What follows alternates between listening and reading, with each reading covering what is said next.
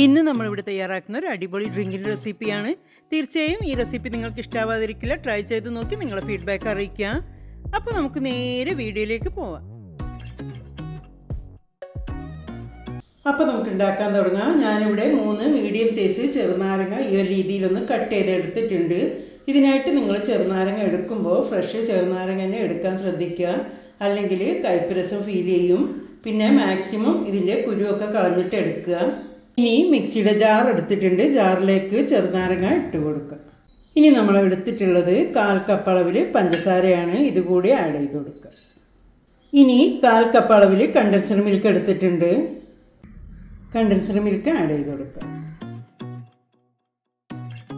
തണുപ്പിന് ആവശ്യമായ ice cubes ഇനി രണ്ട് കപ്പ് വെള്ളം ഒഴിച്ചു കൊടുക്കുക.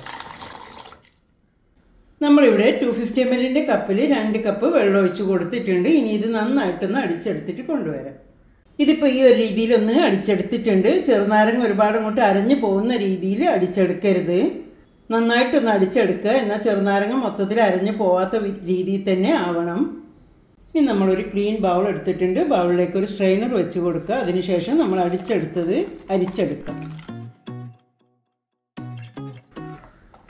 അപ്പോൾ നമ്മൾ ഡ്രിങ്ക് റെഡി ആയിട്ടുണ്ട്. ചെറുനാരങ്ങ വെച്ചിട്ടുള്ള അടിപൊളി ഡ്രിങ്ക് റെഡി ആയിട്ടുണ്ട്. ഈ രീതിയിലാണ് തിക്നെസ് ഒക്കെ നിങ്ങൾക്ക് വേണമെങ്കിൽ കുറക്കാം. അല്ലെങ്കിൽ ഇതിലേറെ തിക്കിലാക്കിയിട്ട് അങ്ങനെ എടുക്കാവുന്നതാണ്. ഞാനിപ്പോൾ ഈ ഒരു രീതിയിലാണ് എടുത്തിട്ടുള്ളത്. ഇനി നമുക്ക് സെർവ് ചെയ്യാം. അപ്പോൾ നമ്മൾ സെർവ് ചെയ്യാനായി രണ്ട് ഗ്ലാസ് എടുത്ത് വെച്ചിട്ടുണ്ട്. ഗ്ലാസ്സിലേക്ക് സെർവ് ചെയ്യാം.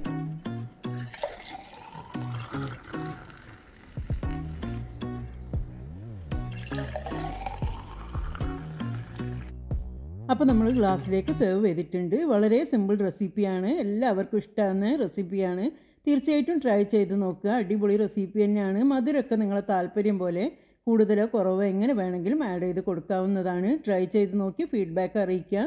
ഞങ്ങളെ മുൻപത്തെ വീഡിയോസൊക്കെ കണ്ട് അതിന്റെയും കൂടി ഒന്ന് കമൻസ് അറിയിക്കുക. വീഡിയോ ഇഷ്ടമായാൽ ലൈക്ക് ബട്ടൺ പ്രസ് ചെയ്യാൻ മറന്നു പോരുത്.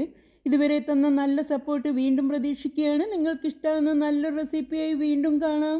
താങ്ക്